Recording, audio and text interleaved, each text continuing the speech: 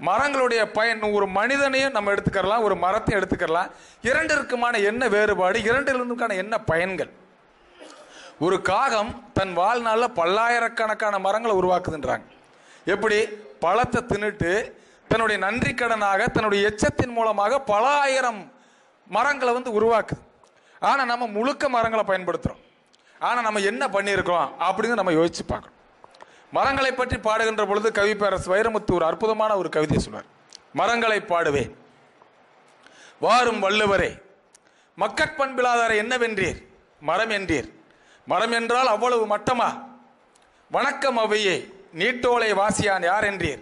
மரம் என்றீர். மரம் என்றால் அவ்வளவு கேவலமா? பக்கத்தில் யார்? பாரதி தானே. பாஞ்சாலி மீட்காத பாமரனை என்னவென்றீர்? நெட்டை மரங்கள் என்றீர். மரங்கள் என்றால் அவ்வளவு இழிவா? மரம் சிருஷ்டியின் சித்திரம் பூமியின் ஆச்சரியக்குறி. நினைக்க நினைக்க நெஞ்சூறும் அனுபவம். மரம் நமக்கு அண்ணன் அண்ணனை பழிக்காதீர்.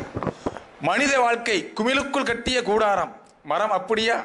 இருக்கும் வரை பூ பூக்கும் இறக்கும் வரை காய்காய்க்கும் வெட்டி நட்டால் கிளை மரமாகுமே. வெட்டி நட்டால் கரம் உடம்பாகுமா? மரத்தை அறுத்தால் ஆண்டு வளையம் வயது சொல்லும். மரத்தை அறுத்தால் ஆண்டு வளையம் வயது சொல்லும். மனிதனை அறுத்தால் உ- உயிரின் செலவைத்தான் உறுப்பு சொல்லும்.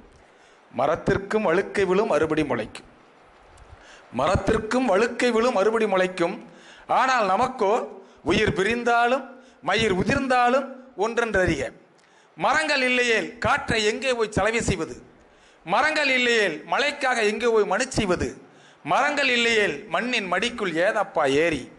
பறவைக்கும் விலங்குக்கும் மரம் தரும் உத்தரவாதம் மனிதர் நாம் தருவோமா? பறவைக்கும் விலங்குக்கும் மரம் தரும் உத்தரவாதம் மனிதர் நாம் தருவோமா? மரம் மனிதனின் முதல் நண்பன். மனிதன் மரத்தின் முதல் எதிரி. மனிதன் ஆயுதங்களை அதிகம் பிரயோகித்தது மரங்களின் மீதுதான். மனிதன் ஆயுதங்களை அதிகம் பிரயோகித்தது மரங்களின் மீதுதான். உண்ண கனி ஒதுங்க நிழல் உடலுக்கு மருந்து உணர்வுக்கு விருந்து அடைய குடில் ஆட தூளி அழகு வேலி எழுத காகிதம் எரிக்க விறகு தடவ தைலம் தாளிக்க எண்ணெய். மரம்தான் மரம்தான் எல்லா மரம்தான் மரம்தான் மரம்தான் மனிதன் மரம்தான் பிறந்தோம் தொட்டில் மரத்தின் உபயம். நடந்தோம் நடைவண்டி மரத்தின் உபயம். எழுதினோம் பென்சில் பலகை மரத்தின் உபயம். மணந்தோம் மாலை சந்தனம் மரத்தின் உபயம். துயின்றோம் தலையணை பஞ்சு மரத்தின் உபயம். கலந்தோம் கட்டில் என்பது மரத்தின் உபயம். நடந்தோம் பாதுகை ரப்பர் மரத்தின் உபயம். இறந்தோம் சவப்பெட்டி வாடை மரத்தின் உபயம். எரிந்தோம் சுடலை விறகு மரத்தின் உபயம். மரம்தான் மரம்தான் எல்லா மரம்தான். மரந்தான் மரம்தான் மனிதன் மறந்தான் மனிதா மனிதனாக வேண்டுமா? மனிதா மனிதனாக வேண்டுமா? மரத்திடம் வா ஒவ்வொரு மரமும் போதி மரம். மனிதா மனிதனாக வேண்டுமா? மரத்திடம் வா. ஒவ்வொரு மரமும் போதி மரம் என்று அந்த கவிதையை நிறைவு செய்கின்ற பொழுது ஒவ்வொரு மரமும் போதி மரமாக இருக்கு. ஒரு போதி மரம் தான் புத்தனை தந்தது. மரங்கள் இல்லையே இந்த மனித குலம் தலைக்காது. அதனுடைய தோற்றத்திலிருந்து இறக்கும் வரை தொட்டில் தொடங்கி கட்டில் தொடங்கி நம்ம கடைசியில் கறிக்கட்டி ஆகிற வரைக்கும் இந்த நம்மளோட உடன்கட்டை ஏறக்கூடியது. அந்த காலத்தில் தான் மனைவி வந்து உடன்கட்டை ஏறுவாங்க. உடன்கட்டை நான் இங்கே நுழையும் போது பார்த்தேன் ஒரு அற்புதமான இரண்டு மரங்கள் வே- அழகிய வேலைப்பாடுகளோடு இருந்தது. பாருங்க அது இறந்த பின்னும் கூட நான் நிற்கிறேன். உங்களுக்கு ஒரு அழகாக ஒரு காட்சி பொருளாக என்று இருக்கிறது. நாம் அப்படி இருக்க முடியுமா? மனிதனும் பிறக்கிறான் வளர்றான் நடக்கிறான் பள்ளிக்கூடத்துக்கு போகிறான் காதலிக்கிறான் திருமணம் செய்கிறான் இறந்துடுறான். ஆனால் அவனுடைய பயன்பாடு என்ன? எப்படி இருக்கு?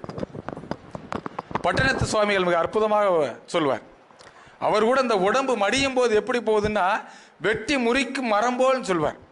கட்டி அனைத்திடும் பெண்டிரும் மக்களும் காலத்தச்சன் வெட்டி முறிக்கும் மரம்போல் இச்சரீரத்தை வீழ்த்தி விட்டால் கொட்டி முளைக்கு அழுவர் மயானம் குறுகி அப்பால். எட்டடி வைப்போரோ இறைவா கச்சி ஏகம்பனே என்று சொல்வார். எல்லாருமே நம்ம அப்படி கட்டி பிடிப்போம் சந்தோஷப்படுவோம் முத்தம் கொடுப்போம் எல்லாம் செய்வோம். ஆனால் இந்த காலத்தச்சன் எவன் அப்படிங்கிற ஒரு காலத்தச்சன் இந்த சரீரத்தை வீழ்த்தி விட்டால் வீடு வரைக்கும் அழுவோம்.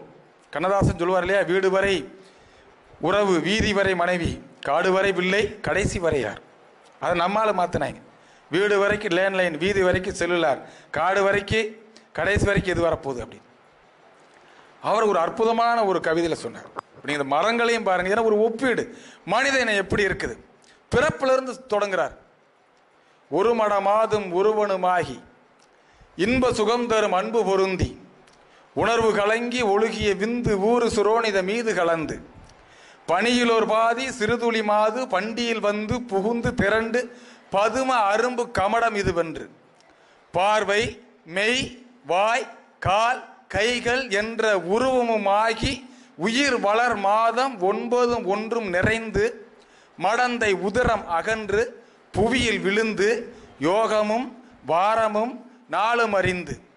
மகளிர்கள் சேனை தரவணை ஆடை மண்பட உந்தி உதைந்து கவிழ்ந்து மடமயில் கொங்கை அமுதம் அறிந்து ஓரறிவு ஈரறி வாகி வளர்ந்து. ஒளிநகை முறுவல் இதழ் மடவாரும் உவந்து முவந்திட தவழ்ந்து மடியில் இருந்து மழலை பொழிந்து வா இரு போ என நாமம் விளம்ப. உடைமணியாடை அரைவடமாட உண்பவர் தின்பவர் தங்களோடு உண்டு. தெருவில் இருந்து புழுதி அலைந்து தேடிய பாலரோடு ஓடி நடந்து அஞ்சு வயதாகி விளையாடியே. உயர்தெருஞான குரு உபதேசம் முத்தமிழின் கலையும் கரை கண்டு வளர்பிறை என்று வளரும் விளம்ப வாழ்பதினாறு பிராயமும் வந்து. மயிர்முடி கோதி அறுபது நாளே வந்திமிர் தந்தொடை கொண்டை புனைந்து மணிபொன் இளங்கும் பணியில் அணிந்து மாதகர் போகதர் கூடி வணங்க. மதன சொருபன் இவன் என மோக மங்கையர் கண்டு மருண்டு வரிவிழி கொண்டு சுழியை எறிந்து மாமலர் போல் அவர் போவது கண்டு. மனது பொறாது அவர் பிறகோடி மங்கள செங்கல சந்திகள் மருவமயங்கி இதழமுதுண்டு வாலிப கோலமும் வேறு பிரிந்து. வளமையும் மாறி இளமையும் மாறி வன்பல் விழுந்து இரு கண்கள் இருண்டு வயது முதிர்ந்து நரைதிரை வந்து வாத நரைதிரை வந்து செங்கையில் ஓர் தடியும் ஆகியே. வருவது போவது உருமுதுகோணும் மந்தி எனும்படி குந்தி நடந்து மதியும் அழிந்து செவிதிமிர் வந்து வாயறியாமல் விடாது மொழிந்து. வாயறியாமல் விடாது மொழிந்து. இப்படி ஒன்றுனா அப்படியே சொல்லிட்டு வரும்போது ஏன்னா இது கொஞ்சம் உங்களுக்கு இதாக இருக்கும். ஏன்னா இது இருபத்தி நாலு பாட்டு. அவர் கடையில் சொல்கிற கடைசியில் சொல்லும்போது சொல்லுவார் விறகிடை மூடி அலல் கொடு போட வெந்து விழுந்து முறிந்து நினங்கள் உருகி எலும்பு கருகி ஓர் கைப்பிடி நீரும் இல்லாத உடம்பை நம்பும் அடியவனை இனி ஆளுமே. இது இருபத்தி நாலு பாட்டு. நான் உங்களுக்கு பதினஞ்சு பாட்டு இருந்து கடைசியில் இருபத்தி நாலு பாட்டு. நீ இந்த ரெண்டையும் ஒப்பிட்டு பாருங்க. மரத்திற்கும் மனித இனத்தை நாம் ஒப்பிடுகின்ற பொழுது மரம்தான் உயர்ந்ததாக இருக்கும்.